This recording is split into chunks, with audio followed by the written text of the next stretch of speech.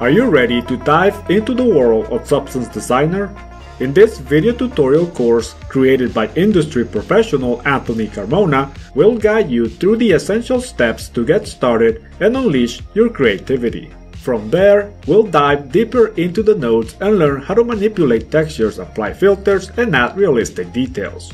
By the end of this course, you'll have a solid foundation in Substance Designer, enabling you to create stunning, high-quality materials for games, visual effects, and more. Check the link in the video description and get ready to take your texturing to the next level.